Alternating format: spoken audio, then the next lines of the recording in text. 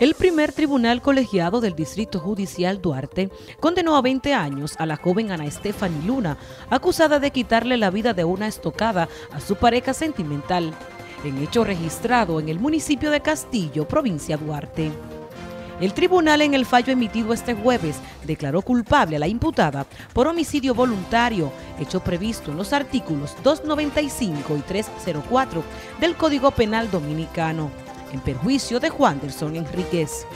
La condenada a su salida del referido tribunal, al ser cuestionada, manifestó que él me maltrataba mucho y que su madre sabe más que nadie todo lo que él me hacía. Que ella dice ser cristiana, pero yo no sé cómo un cristiano puede mentir tanto. ¿Te sientes arrepentida?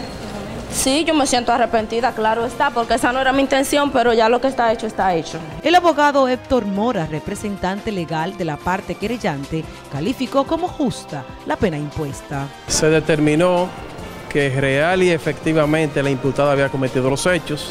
Se condenó a una pena de prisión de 20 años. Estamos conformes con la decisión. Aún la Ministerio Público pedir 30, fue condenada a 20 años estamos conformes. Familiares del occiso mostraron conformidad con la pena impuesta por entender se hizo justicia. Me siento un poco conforme porque estoy viendo que se va a hacer justicia. Este, pusieron 20 años. Yo espero que a los dos imputados también del caso de Kelvin, José Santo, mi otro hijo, también se haga justicia, aunque por los años que le echen, nunca yo voy a volver a tener mis hijos, nunca los voy a recuperar, pero por lo menos voy a tener la conciencia y voy a tener un chin de paz y de tranquilidad. Para NTN, su noticiero regional, Joanny Paulino.